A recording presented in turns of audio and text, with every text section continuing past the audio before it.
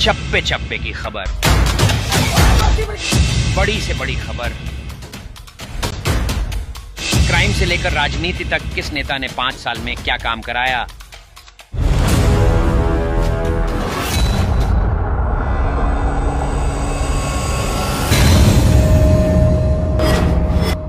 मिलेगी सबसे पहले हर खबर चेंजिंग फ्यूचर न्यूज़ पर जो बदलेगा गुजरात के अंदर जो संजीव भट्ट जी के साथ हो रहा है आज वही चीज़ पूरे देश के अंदर मोदी जी करने में लगे हुए हैं। इसीलिए एक ऐसा संविधान दिया ताकि कई हज़ारों वर्षों तक भी अगर कोई हिटलर आ जाए इस देश के अंदर तो इस देश पर वो कब्जा नहीं कर पाएगा। और मोदी जी को और उनकी भाजपा को शर्म आनी चाहिए कि मणिपुर में जो नरसंहार हो रहा है, उसका कंपैरिजन वो रेप के साथ करते हैं। कि अभी तो सिर्फ़ परिंदे शुमार करना है। अभी तो सिर्फ़ परिंदे शुमार करना है हम सब जानते हैं किसका शिकार करना है। तुम ना आते तो मुलाकात अधूरी होती। तुम ना आते तो मुलाकात अधूरी होती। बात तो होती, मगर बात अधूरी होती। तुम ना आते तो मुलाकात अधूरी होती। बात तो होती, मगर बात अधूरी होती। शुक्रिया तेरे आने से रौनक तो बढ़ी, वरना ये महफिल जज्बात अधूरी होती। यही वो भूमि है बैंगलोर, जहाँ पर आज बेहतर भारत की बुनियाद हो रहा है। और यहीं पर बैंगलोर के अंदर फिरका परस्त ताकतों के खिलाफ विपक्षी दलों में इंडिया का जन्म हुआ है तो इस बैंगलोर का अपने आप में महत्व बढ़ जाता है। साथियों, हम जिस दौर से गुजर रहे हैं, देश में जिस तरीके के हालात हैं, मैं मानती हूँ कि हम सबकी ज़िम्मेदारी बनती है कि इस देश के अंदर नफरत की राजनीति को रोकने का हम काम करें? आज लगातार देश के अंदर नफरत का बीज बोने का हर रोज प्रयास किया जाता है। मैं अभी श्वेता जी को सुन रही थी और मैं अपने साथी को बोल रही थी जो श्वेता जी ने कहा कि गुजरात के अंदर जो संजीव भट्ट जी के साथ हो रहा है, आज वही चीज़ पूरे देश के अंदर मोदी जी करने में लगे हुए हैं। जब तक तो गुजरात तक मोदी जी सीमित थे, तब तक किसी को पता नहीं चल रहा था कि गुजरात के क्या हाल है। मीडिया को दबा रखा था, ब्यूरोक्रेसी को दबा रखा था, विपक्षी दलों को दबा रखा था। फिर जब वो प्रधानमंत्री बने तो उनको लगा कि गुजरात का मॉडल इंडिया के ऊपर हावी करेंगे, लेकिन इंडिया वालों ने दिखा दिया। और इंडिया आज जहाँ पर आकर खड़ा है, भाजपा के पास बोलने के लिए कुछ नहीं है। अगर आँख से आँख दिखाकर इस देश के अंदर कोई बीजेपी से या मोदी जी से सवाल कर रहा है तो सिर्फ़ और सिर्फ़ हमारे नेता राहुल गांधी कर रहे हैं।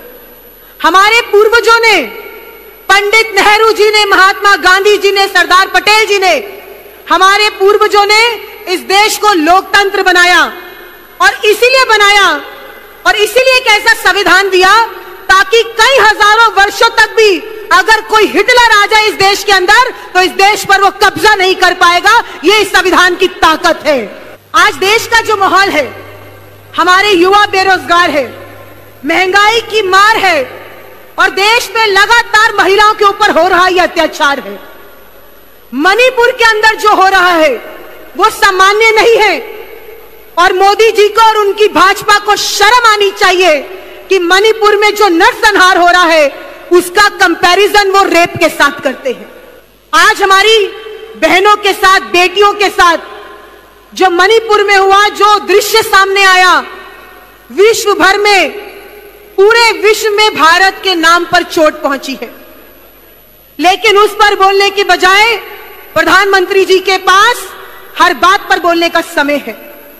मणिपुर में जाने का समय नहीं है, लेकिन राजस्थान में आने का समय है। राजस्थान के अंदर चुनाव है। अभी कल फिर आने वाले हैं। प्रधानमंत्री जी के पास राजस्थान जाने का समय है, लेकिन मणिपुर में जाने का समय नहीं है। यह बेहद ही शर्मनाक है। और वो हमेशा कहते हैं, मैं आप साथियों को बता देना चाहूँ, और हमें घबराने की ज़रूरत नहीं है। हमें उनसे सवाल करते रहना होगा। इनकी जो आईटी टीम लगी हुई है कि राजस्थान में हो रहा है, राजस्थान में हो रहा है राजस्थान में और मणिपुर में और बीजेपी शासित राज्यों में जो बेटियों के साथ हो रहा है, उसका अंतर आज बताना बहुत ज़रूरी है। भाजपा शासित राज्यों में बेटियों को कलंकित किया जाता है, पीड़िताओं को बदनाम किया जाता है, लेकिन कांग्रेस शासित राज्यों में ऐसा कभी सरकार नहीं करती है। हाथरस में जो हुआ इंस्टीट्यूशनल किलिंग कहते हैं उसको। कठुआ में जो हुआ, उन्नाव में जो हुआ, इन सब हादसों में भाजपा सरकार पीड़िता को नहीं, बल्कि बलात्कारी को बचाने में लग जाती है। लेकिन राजस्थान या अन्य किसी भी कांग्रेस शासित राज्य में ऐसा नहीं होता है।